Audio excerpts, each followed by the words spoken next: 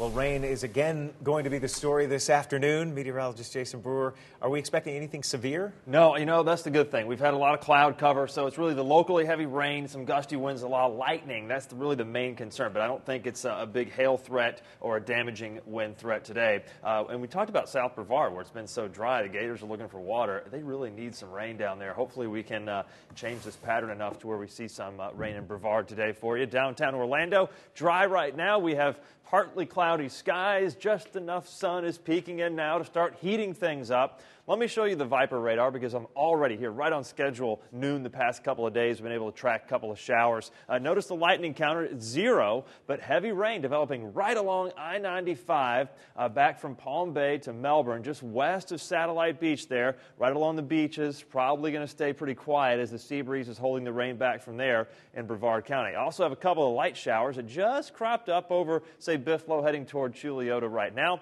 and some heavier downpours. No thunder yet, but that'll change pretty soon. Palm Coast, Beverly Beach, Flagler Beach around Bunnell. Looks like this is all coming together for you here over the next uh, half an hour or so. And a bunch of rain across northwestern parts of the area here from Alachua County back to the Gulf, heading in toward Marion later on. Let me show you the future scan because it's doing a pretty good job initializing. Look at that rain in Flagler and east of uh, Orlando and down into Brevard.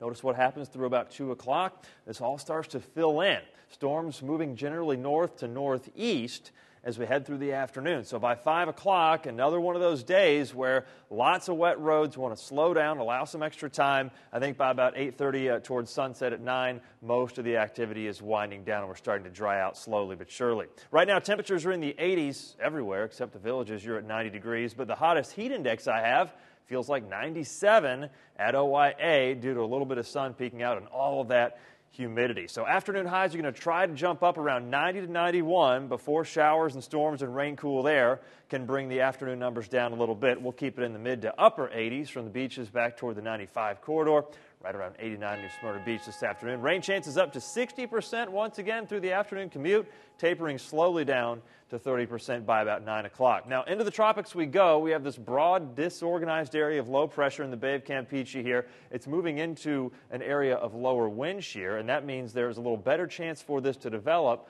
over the next 24 hours before it moves ashore into Mexico. You see the forecast models are taking it uh, that direction. So it stays away from us, but uh, would not be surprised if hurricane hunters head out there and we need to uh, call this thing a depression over the next 24 hours. Meanwhile, seven day forecast.